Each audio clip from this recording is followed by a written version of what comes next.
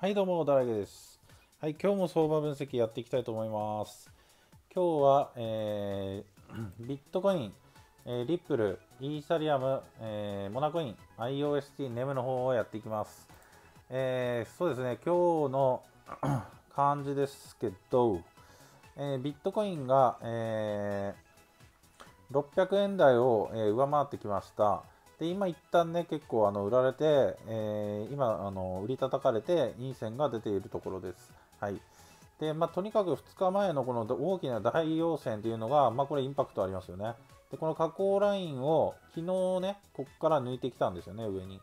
で、この下降ラインを抜けたので、一気に、まあ、この線タッチ付近ぐらいまで行くだろうって予測してたんですけども、まあ、ちょっと下ぐらいの、ちょっと下まででね、ちょっと下で売り叩かれるという展開になってきています。はい。で、まあ、今後の展開なんですけど、まあ、ここをね、上抜けできなかったら、また下を試してくるという風な展開。そして、この上昇トレンドにタッチするぐらいまでの調整を踏んでくるっていう考えが一つと、ここを上抜けてくるのであれば、えー、まあ、ここのモヤモヤ期間はあるんですけど、まあ、えー、ここのね、えー、最高値、直近の最高値をぶち上げ、えに、ここに迫る勢いの上昇というのが来る可能性というのは十分あるかなというふうに思っております。はい。で、とにもかくにも、まあ、えー、まだね、え、まあ、結構強くてインパクトあるので、どちらかというと上目線ではあるんですけど、えー、この最高値を更新するまであるかというと、まだそこはね、え疑問視しなければならないというところがあって、やっぱりこうやってね、壁となる部分がいくいくつかありますので、あとここね、えー、ここえー、ちょっと待ってね、えー この670万円付近っていうのも、まあ、結構ね、意識されてきておりますので、670万円付近ね、えー、こういう壁を抜いてこないことには、まあ、まだまだね、えー、どこで落ちてくるかというのは分かりませんし、よくあるのが反発して、えー、高値は更新できず、またじわ下げっていう風な形もありますので、そこだけ懸念材料として覚えておいてもらえればいいと思います。はい。で、まあ、ポジティブな見方としては、やっぱりここを抜いて、もで、ここを抜いてくると、まあ、ちょっとね、この線を抜いてくると、まあ、ちょっとしたね、上昇があって、この辺をね、推移していくと思うんですけど、最後の壁となるこの線を抜いたら、まあ、高値更新に向かうという、えー、まあ、シナリオですね。えー、そういうシナリオを描いておいていいかと思います。はい。で、もしね、玉を入れたい方は、まあ、ここのね、下線タッチまで待つっていうのが一つと、え、調整をね、で、待って、ちゃんと反発をこうされたタイミングで、あされるのを確認してから、えー、トレンドに参加していくっていうのが一つと、もう一つは、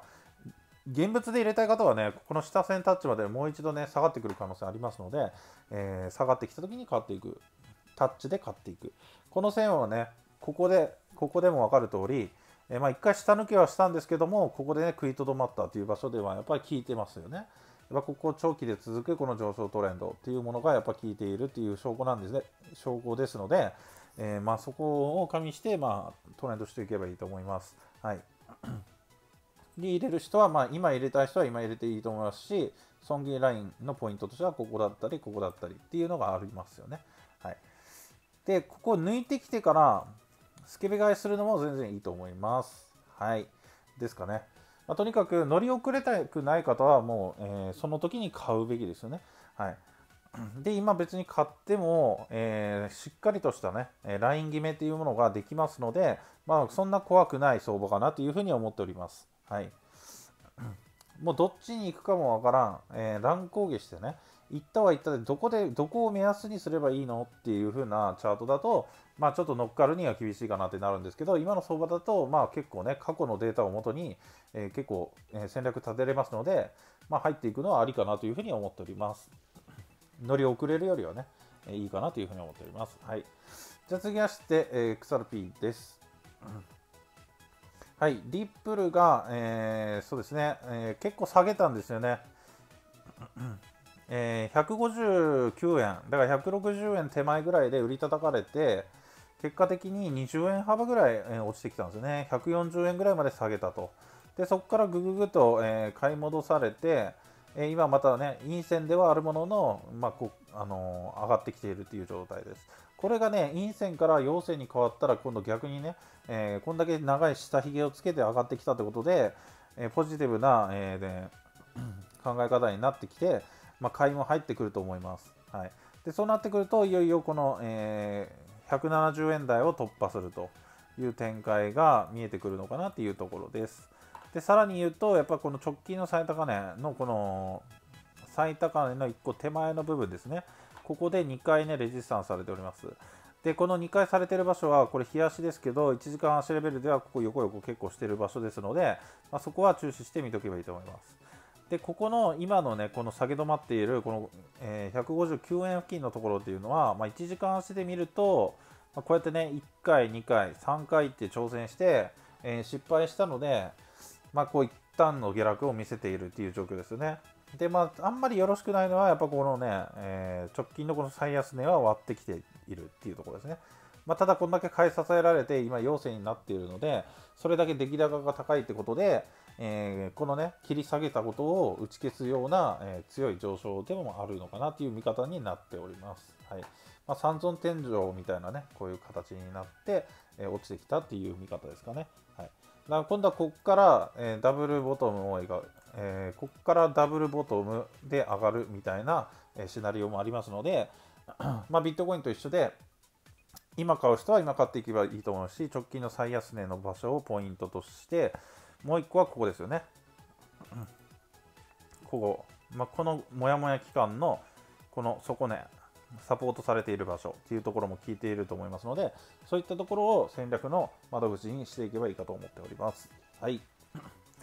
はい、じゃあ続きまして、えー、イーサリアムです。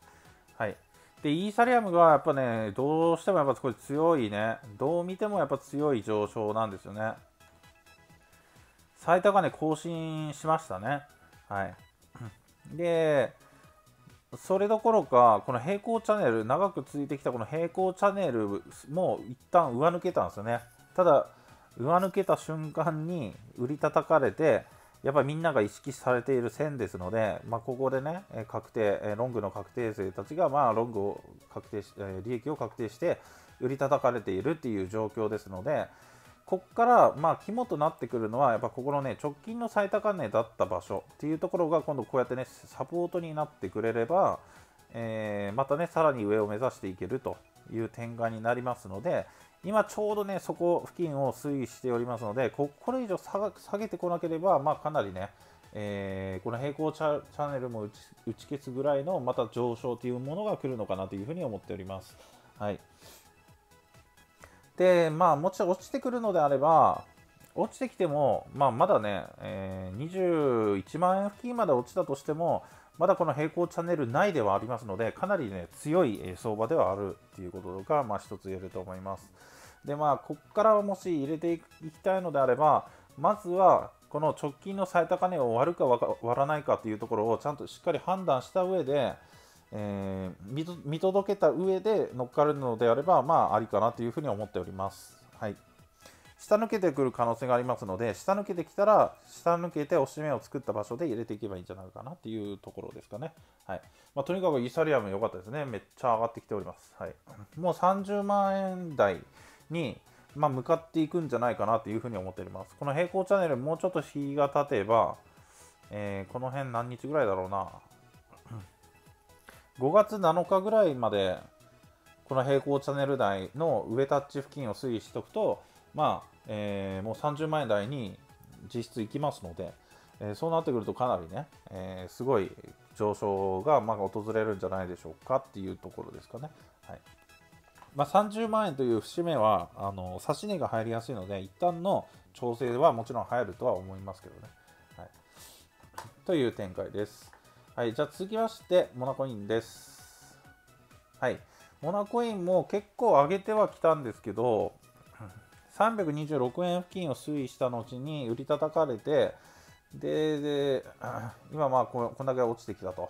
いう形になっております。で、まだ4000になっておりますので、えー、ここがね、今ちょうどね、このお山の部分で下げ止まってるんですよ。今の現在価格がですね。このお山を、まあ、下抜けしてこずに、ここを陽線で終わり、次のね、バトンタッチにつなげれることができたら、またね、こう上がってこれるのかなっていうふうに思っております。で、上がるときに肝となってくるのは、やっぱこの辺のモヤモヤ期間ですよね。まあ、これ、日足だからわからないと思いますけど、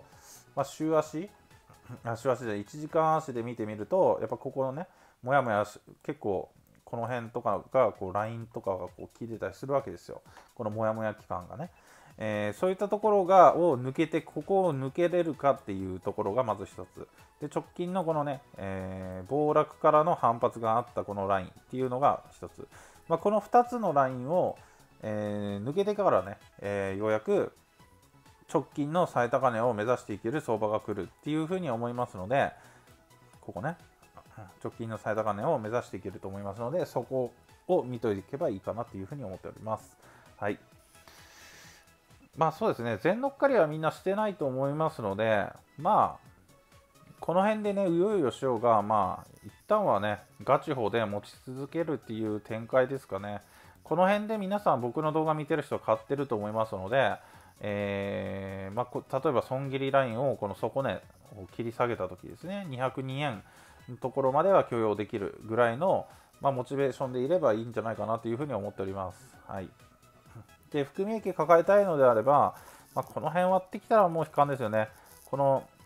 大きな大陽線までを下抜けてくるのであれば、まあ、ちょっと悲観が走ると思いますので、この辺で少し含み益を抱えた状態でトレードから去るといった展開も、まあ、ありかなというふうに思っております。はい。それでは、えー、続きまして、えー、ネムです。はい。はい。ネムですけど、まあ、ネムもね、一旦は、この下落、このね、直近の、えー、大暴落があった時の価格帯まで一旦戻してきたので、まあ、かなりね、えー、買いが入ったと、えー、反発できたというふうに思っております。で、まあ、じわ上げしてきて、えー、まあ、底値を切り上げながら上がってきて、で、今一旦ね、調整がちょっと何本か入ってきていると。そしてようやく陽線が今つき始めているという状態ですので、まあ、このね三角持ち合いの中をどちらに抜けるかでまたね、え相場が変わるのかなというところです。で上抜けるのであれば直近のもちろんこの最高値を抜いてきて今度ここのねもやもや期間っていうところラインがねこの辺のところっていうのは重くなってくるとでその次がやっぱこの辺ですよねえー50円付近ですよね、ちょうど。この辺っていうのも、えー、まあ、これちょっと遠目で見てるからね、皆さん見えにくいと思うんですけど、こう近づいてみると分かりやすいと思うんですけど、まあ、ここでね、いっぱいね、レジスタンスされたり、サポートされたりっていう風にいっぱい聞いてる箇所があります。こうやってね。はい。ですので、まあ、ここは意識されてくるだろうと。上がってきたらね。ってなりますので、そこをもしこの三角持ち合いを抜けた場合は、えー、そういった風に、えー、見とけばいいかと思います。で、下抜けてくるのであれば、えー、直近の最安値である、ここですね。ここで、まずは1個目の、え受け皿があります。で、ここを下抜けると、このピンクの受け皿があります。で最終的にはやっぱここのね直近の最安値っていうところがありますので3本の矢で支えられるっていう形になります、え、上昇トレンドこの上昇トレンド、えー、この横軸のこの線で直近最安値っていうふうにありますので、えー、その各ポイントで自分が入れたいタイミングっていうところを探して、えトレードに臨めばいいかと思います損切りラインもそういったところを基軸にすればまあ結構ね、え利益目指せるんじゃないですか。こう遠目に見たときに、えー、まあ、ここリスク1に対しての、まあ、ここまでね、直近の最高値まで目指していくって考えたら、まあ、結構大きなね、玉になりますけど、まあ、ただここ上値もね、こうやって1、2、3って3本の矢がありますので、えー、そう考えると、損切りラインをちょっと浅めに設定して、えー、こまめにやっていくといった展開になるかなというふうに思います。ですので、まあ、長期でホールドしている方はまあそれでいいと思うんですけど、短期で動きたいという方は、この三角持ち合いっていうのをどちらに抜けるかっていうところをよく見とけばいいかと思っております。はい、ということで、えー、続きまして IOST です。はい、IOST です。IOST なんですけど、えー、まあ綺麗なね、ダブルボトムを描いて、まあ、上げてきたという形です。で、まあ、この下降トレンドがこうやってね、引けたんですけど、まあ、ここをね、抜けてから一旦、えー、暴落したもののポンと抜けて上げ上に上げてきたという形です。で今、この横軸であるこの線をのところを推移していて、まあ、ここからね、今、大きな反発がまた来ているといった感じになっております。はい、こんだけ買い支えられた後によだ、えー、まあまあの陽線を作ってで、今の時間軸でも陽線になっているという状態ですね。はい、で直近で見るべきは、ここをまた割ってこないかというところが一つと、上を見るのであれば、やっぱこのね、直近の最高値っていうところを上抜けしてくれば、やっぱこのモヤモヤ期間っていうところを挑んでくるというふうになります。で、ちょっと長い目で見たら、まあ、こうね、三角持ち合いみたいな形になっておりますので、えー、まあ、これちょっと線切れてますけどね。はい。ここを上抜けできるかどうかっていうのが一つと、ここを下抜けるのであれば、またね、悲観が走るかなっていうふうになりますので、まあ、長期で見たら、まあそういった感じですよね。はい。うんまあ、大体5月のは、えー、8日ぐらいですかね、までには決着つくんじゃないかなというふうに思われます。はい、でここダブルトップで1回下下げてネックライン割ってきたんですけど、まあ、ここでね、大きくこの下髭つけてこんだけ買い支えられてるということは、まあ、ダブルトップは一旦ここで下げ止まったというふうに考えていいかと思いますので、えー、ここからね、また上を目指していけるかなというふうに思っております。まあ、切り上げ、え切り下げて、次切り切り下げてきたんですけど、切り下げてからの、え買いがやようやく大きく入ってくるかっていうような展開ですね。はいまあ、とにもかくにもこの直近のここのね最高値を目指さないとことには始まらないので、まあ、そこを見とけばいいと思います。で今はね今入るというよりは買いたい方は まだね今中途半端なんですね。まあ、ここに乗っかるにしてもね、利益的にはね、リスクと利益がちょうど半々ぐらいの場所に位置しておりますので、えー、一旦当たって押し目作ったタイミングか、これがね、もうちょっと落ちてきたタイミングっていうのを狙っていけばいいかと思います。はい。でもっと慎重に行きたいって方は、ここをね、上抜けたタイミングで買っていくっていう風にすればいいと思うんですけど、まあ、安くでね、もうとにかく今買って長期で保有したいっていう方は、えー、長期で持っとくっていう方はもう今買っといて、まあ、ホールドしとけばいいかなというふうに思っております。はい。回転してね、えー、その、個数を増やしていきたい勢は、えー、そういったね、こういう、今入るのではなく、どちらかに、えー、反応があった場合に、えー、アクションを起こしたときに、えー、買っていくっていう風にすればいいかと思います。はい。まあ、IOST も、まあ、こんだけのね、下落から、えー、上がってきておりまして、まあ、こう下落をこう打ち消すね、えー、ところまで来ておりますので、まあ、もうちょっとね、上がってきたら、この辺の、もう勝負してくると思いますので、えー、このちょこれにね、乗っかっていければいいかというところですよね。はい。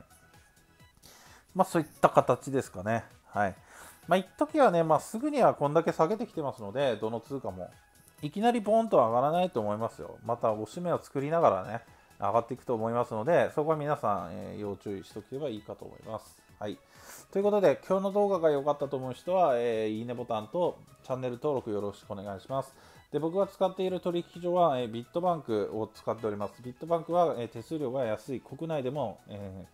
かなり、え、トップ、最も、え、安いと言っても過言じゃないぐらい手数料が安いというのが一つと、指値取引といって予約できると、取引するのに予約をすることができると、そういうシステムがありますので、それを使うと戦略の幅っていうのが一気に広がります。全然違います。ですので、まあ、ぜひ日本人はこのビットバンクを、えー、登録してみてください。概要欄に載せておきます。で、もう一つコインチェックっていうものを載せているんですけど、コインチェックは、えー、手数料は正直高いんですけど、販売所形式なんで、えー、高いんですけども、えー、その取り扱ってる通貨が国内で最も多いと言われていて、えー、かなりね、えー他の取引所でも扱ってないような仮想通貨を買うことができますので、えこの2種類ですね、え仮想通貨の量が多いコインチェックと手数料とかがめちゃめちゃ安いビットバンクそしてシステム的にも優秀なビットバンクこの2つを持っているとかなり有効的なね、えー、取引をしていけると思いますのでぜひ、えー、持ってない方は登録してみてください。ということで今日の動画を終わりたいと思います。おつ